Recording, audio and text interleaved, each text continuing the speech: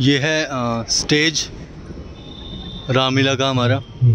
और ये ऑडियंस इतना होगी। बहुत ही सुंदर दृश्य है।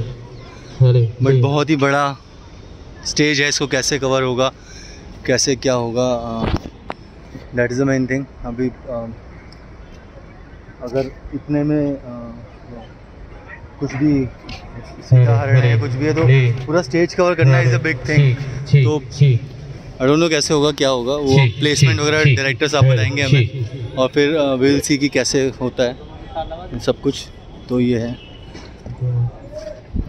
बस।